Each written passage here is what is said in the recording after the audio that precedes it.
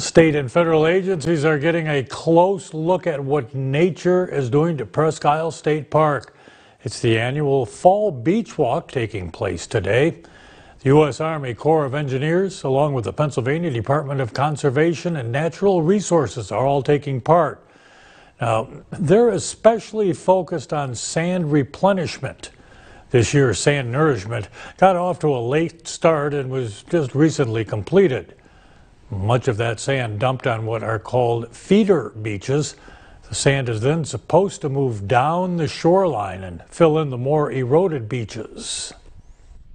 The Fall Beach Walk is an opportunity for us to take a look at the beaches, what we've done over the previous year, and talk about the year ahead. For well over 100 years, there's been engineering that's gone on in the peninsula to kind of shore up some of those features, and, and most notably now, with infrastructure on the park, we try to protect that infrastructure that's here.